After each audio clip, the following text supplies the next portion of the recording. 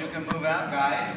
You can quick, quick, quick, two, quick, quick, three. Now, everybody zip up the sides, press the heel into the floor, and go up. You're slow.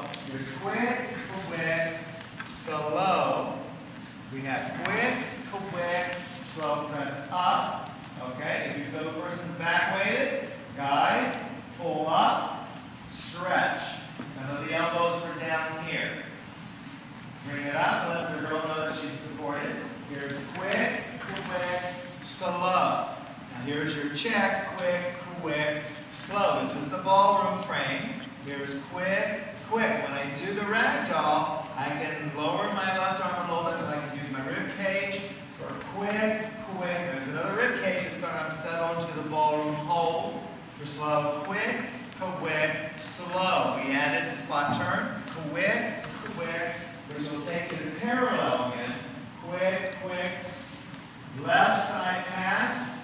Quick, quick, using the And from here, you could do an underarm turn again. If you do, L's, quick, quick to your side facing. Okay? So we would have a one, quick, quick, two, quick, quick, three, quick, quick, four, quick, quick, five, quick, quick, six, quick, quick. This could be seven. Quick, quick. This could be eight. Quick, quick. Here's my slow. Quick, quick. Frame up through the elbows, guys. Slow. Back to the ballroom basic. Here's your slow. Natural spot turn to parallel. Quick, quick. Underarm turn again.